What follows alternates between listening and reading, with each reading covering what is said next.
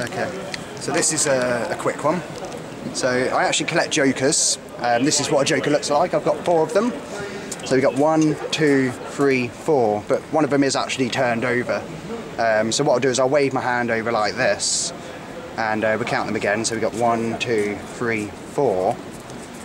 Two of the jokers have now turned over as well. So we, we make this joker turn over by magic. Okay, you ready? Okay, that wasn't Oh magic, God. but the last joker that's face up, if I do this, all of the jokers turn face down.